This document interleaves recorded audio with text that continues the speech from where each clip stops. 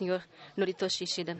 Em seguida, gostaríamos de solicitar a palavra do senhor excelentíssimo embaixador do Brasil no Japão, o embaixador Luiz Augusto de Castro Neves.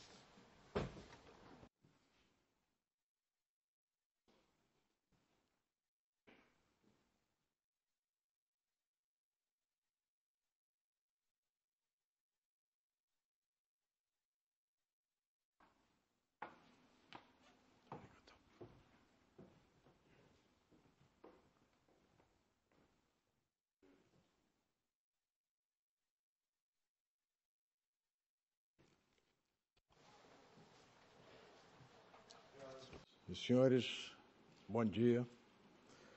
Ah, senhor Vice-Ministro da Agricultura, Floresta e Pesca do Japão, Noritoshi Ishida.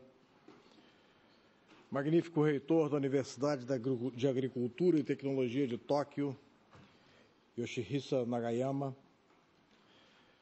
Excelentíssimo senhor Dr. Roberto Rodrigues, ex-ministro da Agricultura, Pecuária e Abastecimento do Brasil, e de quem eu muito me orgulho de ser amigo. Senhoras e senhores, é com grande satisfação que participo da abertura deste simpósio Japão-Brasil de Universidades e Instituto de Pesquisas Agrícolas, sob o tema Colaboração Global para o Desenvolvimento Sustentável baseado nas contribuições japonesas na agricultura brasileira. Congratulo-me com a Universidade de Tóquio de Agricultura e Tecnologia, bem como com os co-organizadores Universidade de Tóquio e Universidade de Tsukuba por esta iniciativa, a qual se segue a um encontro havido em São Paulo em junho último. Agradeço ao reitor Kobataki, que esteve duas vezes no Brasil neste ano do intercâmbio Brasil-Japão, a primeira vez no mês de junho, por ocasião do encontro acadêmico Simpósio Brasil-Japão, Contribuição ao Agronegócio, realizado em São Paulo, e a segunda no mês de novembro, prestigiando com sua presença o Fórum de Reitores Brasil-Japão em Cuiabá, estado do Mato Grosso. O simpósio de São Paulo foi preparatório deste encontro, promovido pela Universidade Estadual Paulista, pela Unesp, em parceria com a USP, Universidade de São Paulo, e a Unicamp, Universidade Estadual de Campinas. Contou com a participação das universidades de Tóquio e Tsukuba e envolveu temas prioritários como agricultura, aquecimento global, contribuição da, da migração japonesa ao desenvolvimento da agricultura brasileira, biodiesel, produtos agroflorestais no mercado do Japão e a participação dos DECASEG nesse relacionamento. No segundo caso, o Fórum de Reitores Brasil-Japão, tratou-se do primeiro encontro acadêmico governamental de alto nível realizado entre os dois países.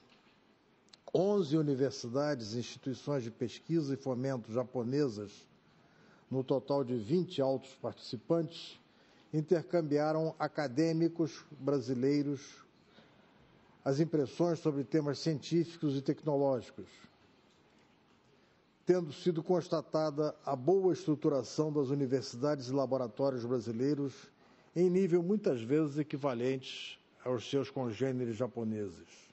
O Fórum de Cuiabá logrou lançar as bases para programas bilaterais entre várias universidades e instituições de fomento, tais como a JST, Japan Science and Technology Agency, e a JSPS, Japan Society for the Promotion of Science, e as suas contrapartes brasileiras, CNPq e CAPES. Muitas outras sementes estão sendo produzidas e lançadas em benefício da cooperação acadêmica, base de qualquer relacionamento científico e tecnológico efetivo. Além dos eventos de São Paulo-Cuiabá, e deste simpósio que hoje realizamos em Tóquio, ressalto igualmente a realização, no mês passado, de um workshop acadêmico sobre tecnologia de informação e comunicação, no âmbito do qual 16 dos mais renomados professores e pesquisadores das principais universidades e institutos de pesquisa do Brasil, especializados naqueles campos, intercambiaram com seus homólogos japoneses conhecimentos, bem como propuseram um relacionamento científico e tecnológico futuro. Essa oportunidade surgiu em decorrência da adoção pelo Brasil da plataforma do sistema ISDB-T de TV digital desenvolvida no Japão. Relevo a respeito que o Brasil é o primeiro e, até o momento, o único país do mundo a adotar o padrão japonês, abrindo-se oportunidade de desenvolvermos novas tecnologias de forma conjunta nessa área, inclusive com a participação dos laboratórios de pesquisas das universidades e empresas privadas. Senhoras e senhores, o relacionamento entre o Brasil e o Japão se assenta na mais sólida e desejável de todas as bases, a dimensão humana. A maior comunidade de nipodescendentes fora do Japão se encontra no Brasil. A, maior, a terceira maior comunidade de brasileiros no exterior, em sua vasta maioria de descendência nipônica, vive no Japão. São mais de um milhão e meio de descendentes de japoneses no Brasil e cerca de 317 mil brasileiros residentes no Japão.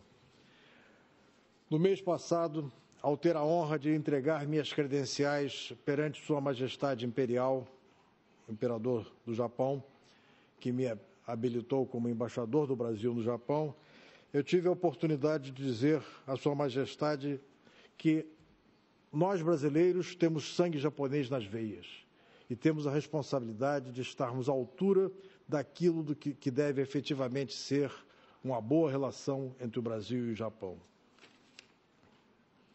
No Brasil, uma das muitas contribuições japonesas deu-se no campo da agricultura, tema deste encontro. Emblemático dessa estreita cooperação na área agrícola foi o projeto Cerrado, que será igualmente abordado neste simpósio.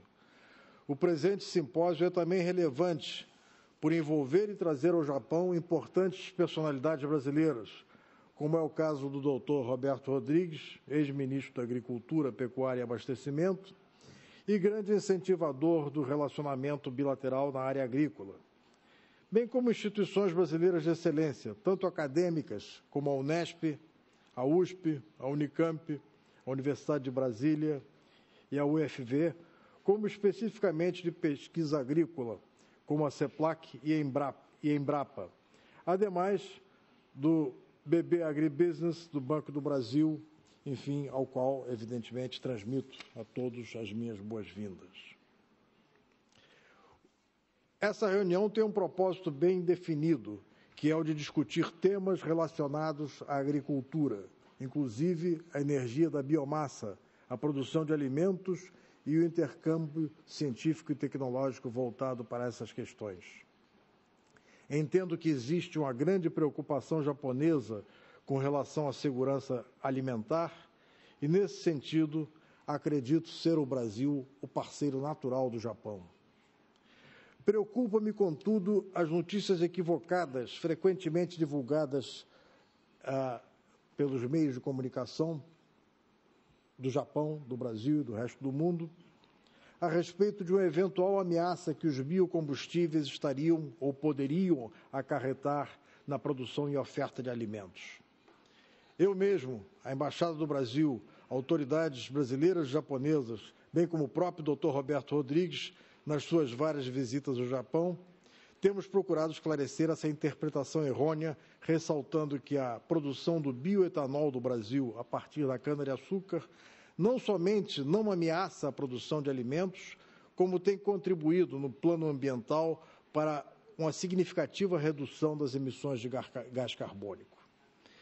Nesse processo de intensificação de relações, a Universidade de Tóquio de Agricultura e Tecnologia é um dos atores mais ativos, pelo qual agradeço mais uma vez a contribuição do reitor, do reitor Kobataki e do vice-reitor Akira Sassal, presidente do comitê organizador deste simpósio em Tóquio.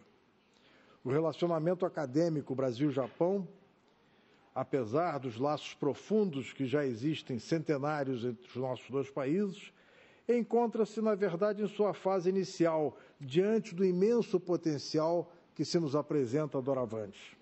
O presente simpósio, que aborda atividade agrícola e áreas correlatas de energia, meio ambiente, relações humanas e científicas, deverá lançar novas perspectivas, inclusive no que se refere ao fortalecimento do intercâmbio de professores, pesquisadores e alunos, base de verdadeiro relacionamento científico e tecnológico. Mais uma vez, os meus sinceros agradecimentos a todos os envolvidos na organização deste evento e os meus votos de sucesso a todos os participantes. Domo arigatou gozaimasu.